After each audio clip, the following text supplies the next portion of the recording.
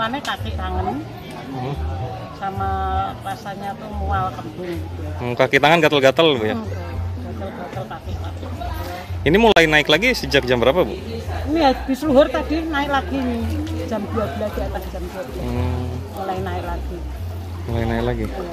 ibu masih bertahan di sini atau nanti ada rencana ngungsi bu? Insya Allah ya enggak usah ngungsi lah bertahan.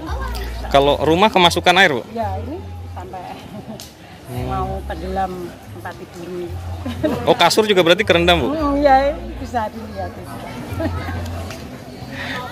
Kalau bantuan itu udah dapat Bu? Ya udah alhamdulillah sudah dapat bantuan. nasi. Apa aja? Heeh. Nasi- Ya nasi nasi dari mana?